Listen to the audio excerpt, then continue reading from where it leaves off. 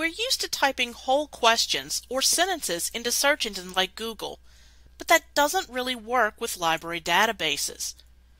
Instead, we need to search keywords.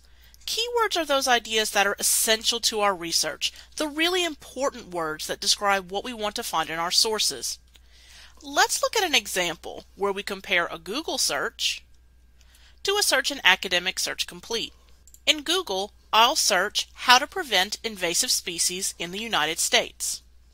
I get about 84 million results. That shows there's a lot on my topic, but it's way too much for me to review quickly. It's hard to find what's helpful or to find ways to narrow my results. I also can't easily determine which types of sources I'm finding. Before we look at the database, I need to pick out my keywords from the sentence so that I know what I need to search. We have three keywords in our first search. Prevent, invasive species, and United States. We want all three of these ideas to be included in our sources. Without them, the sources won't be helpful to us.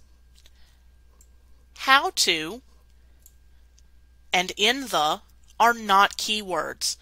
None of those words express an important idea that must be included in the sources we find.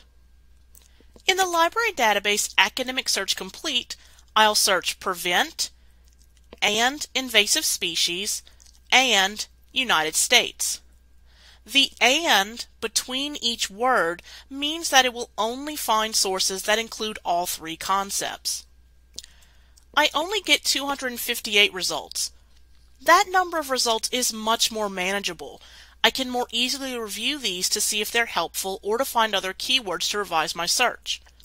I can also easily tell if I'm locating academic scholarly journal articles. I hope this video is helpful. Using keywords in library databases takes some practice, but if you need help, you can always ask a librarian. Remember, we're here to help you.